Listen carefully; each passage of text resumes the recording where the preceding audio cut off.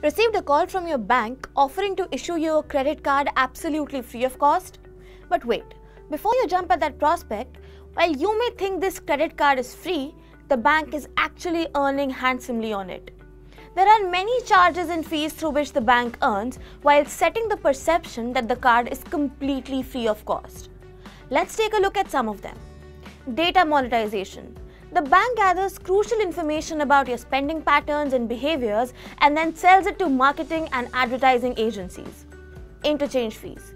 When you make a transaction via a credit card, the concerned merchant through which you have made the transaction pays a fee to the bank, which is also known as an interchange fee.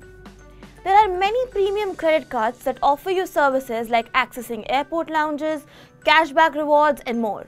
For this, they charge yearly fees. Moreover, banks also extract high fees from customers who do not pay their credit card bills on time. In fact, this is the most lucrative source of income for banks. Whenever you make international payments via your credit card, the bank also charges you a foreign currency markup fees. Is levied when travelers make payments via credit cards internationally.